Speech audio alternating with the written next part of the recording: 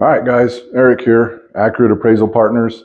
We did a video oh, a couple weeks ago about manufactured homes. What are they? Today we're going to do manufactured homes, real property versus personal property. Um, I was going to do this video last week, but just too crazy of a week, so we'll get it this week. So anyway, manufactured homes, are they real property? Are they personal property? Are they a house? That raises a lot of questions and a lot of misconceptions. So Quick recap. Recap.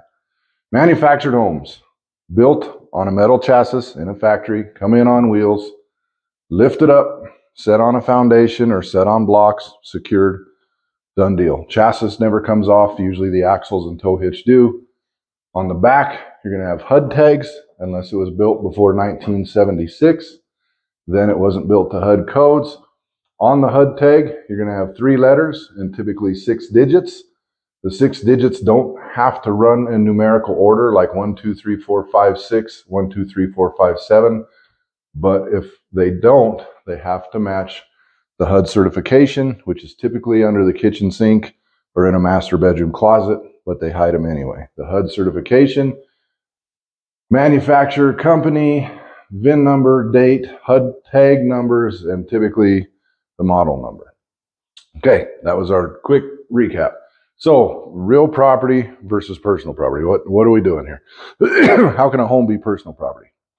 When a manufactured home is built, it comes with a title. A manufactured home is really no different than a glorified RV as far as like the state of Colorado or the county is concerned. So it comes pulled in, they build a foundation, they set it on the foundation. A lot of times banks or lending institutions, when you do a, a project with them, they will purge the title basically when it's set or even start the process beforehand. So this will show up. There will be no titles. When the home is placed, the title is purged. And then this home is considered real property. Now, if the title isn't purged, this happens probably more often than not. The home comes in, gets placed on a foundation. So you got your fancy home on a foundation. Well, you still have a title. So the title it's no different. This is personal property. When this home's sitting there, even though it's secured and on a permanent foundation, this is still personal property. So then what the county assessors do, um, let's say you own 40 acres, I hope you can see this, 40 acres of land. And you put your brand new home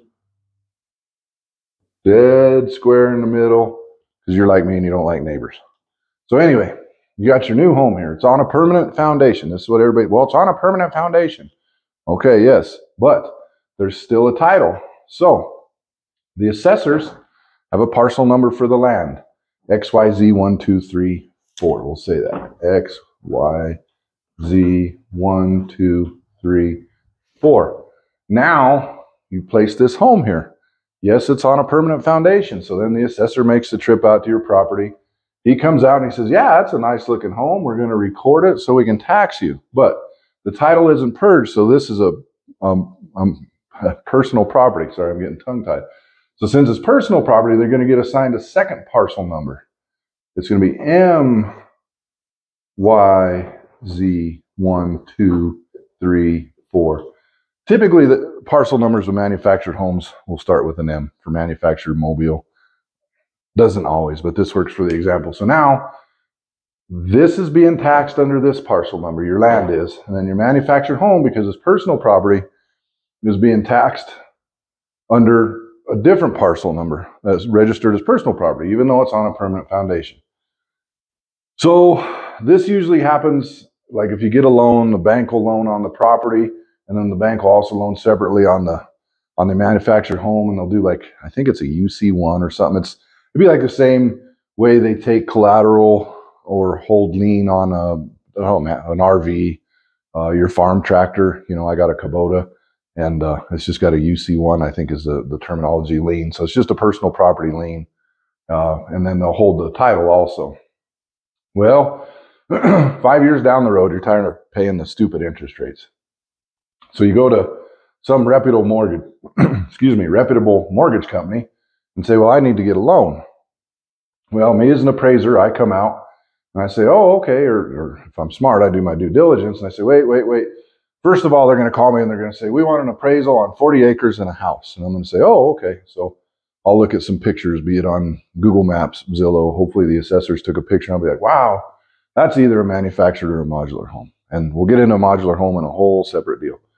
But I'll look at it. So then I'll go back to the bank or the mortgage company and I'll say, Hey guys, this is either manufactured or modular, you know. And and they'll say, well, no, it's it's on a permanent foundation. I mean, this is something I hear every time. I, I bet you I've dealt with seasoned mortgage brokers. Oh, it's on a permanent foundation.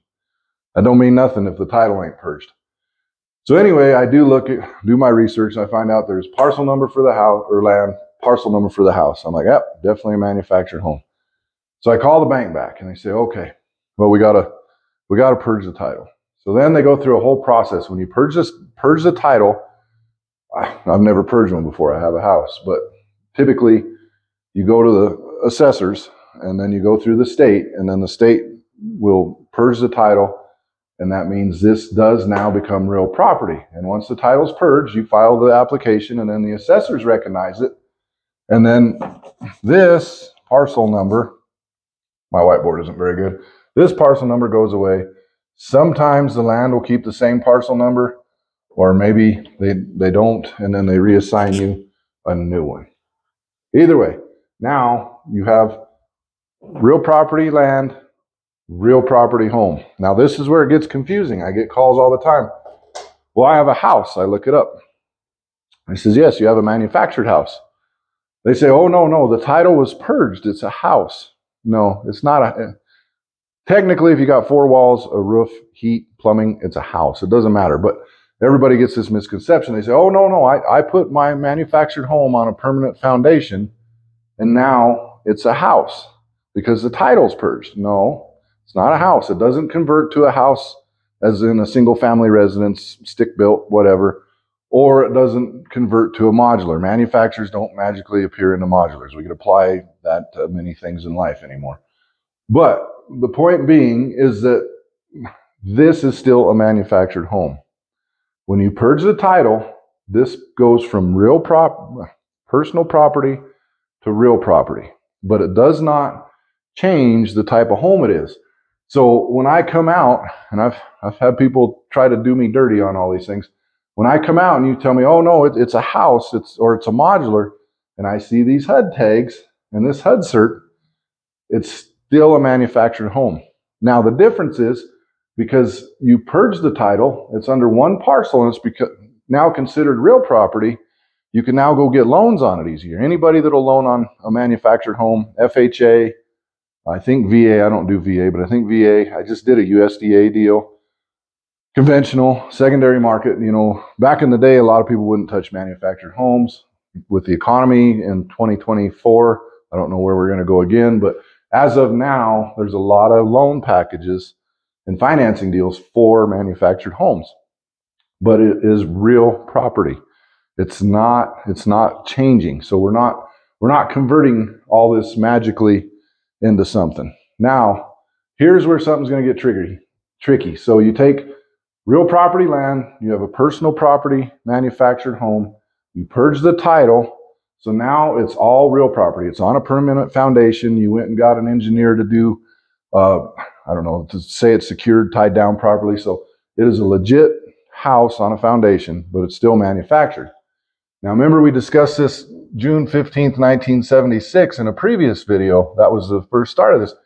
So if you bought it before that date, or let's say grandma got it and you inherited it, or maybe you got a good deal on something and the county lets you put it in. That's pretty rare anymore, but you put it in, you put it on the parcel, you purge the title. This is kind of an oddball scenario, but I've seen it. And you purge the title, so then you're like, I have a house now. I have, yes, it's a manufactured home, but it's on a permanent foundation and it's real property. Now I can go get a good loan. I can get that 3% interest rate or whatever. So then I pull a I come out and look at the house. I always pull assessor's record search. So let's say I do it blindly. I come out and look at the house. I say, oh yeah, yeah, it's a nice house, and yeah, you purged the title, and it's, it's real property. We didn't it didn't convert to nothing, but it, it's real property now. So it is land and house together.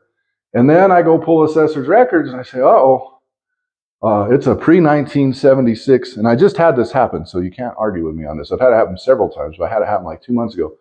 It's a pre 1976 home. And the person says, Well, no, I purged the title. It's real property. It's affixed to a concrete foundation. It's I re-stuccoed it.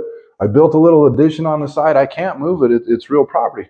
This is what hurts when it's a manufactured home.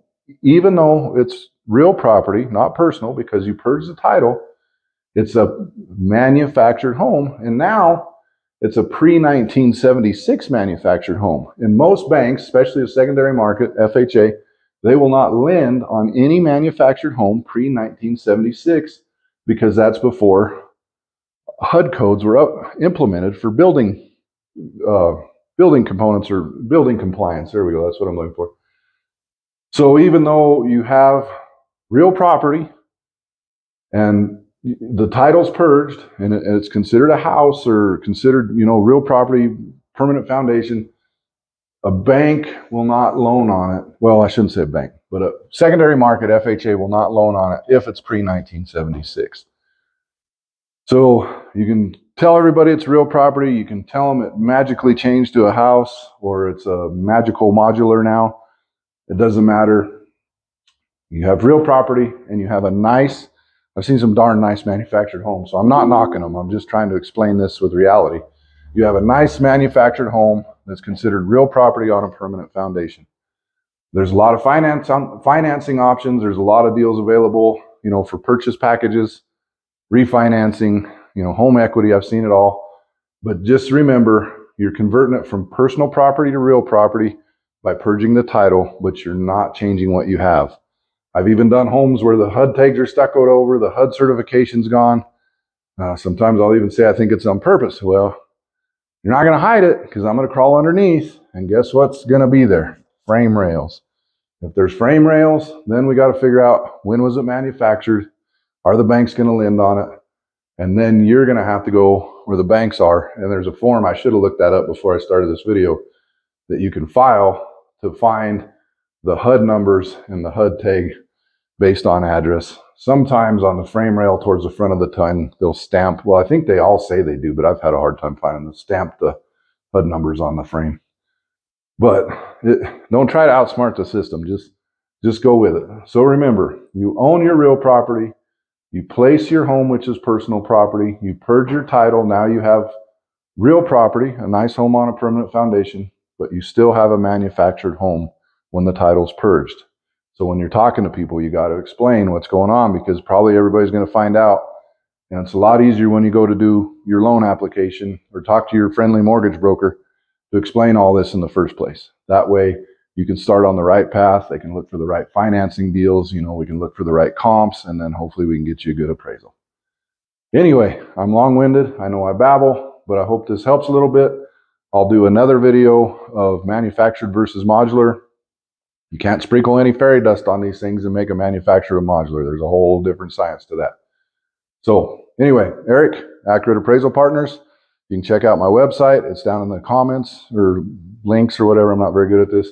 But thanks and have a good day.